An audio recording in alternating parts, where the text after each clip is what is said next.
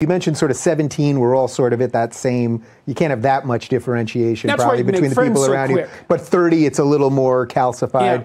Do you think there's an, a cutoff age? I don't mean exactly a number, like you're going to say 56, but do you think that there's a point, and, and there was a question asked at Clemson where uh, somebody said to you, you know, you've really helped my 60 year old father who had all this stuff going wrong in his life. He li- started listening to you, and he's, he said he's, I think she said he's in the best place he's ever been yeah. or something.